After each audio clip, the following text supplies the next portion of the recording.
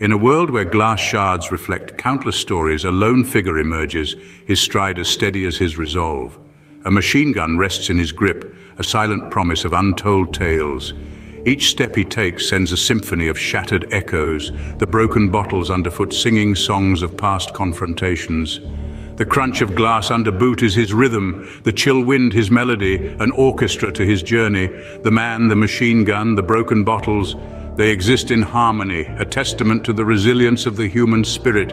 Every shattered piece a tale of survival, every step a testament to perseverance. This, my friends, is the ballad of the man with the machine gun. Tune in again for another tale from the shards of life.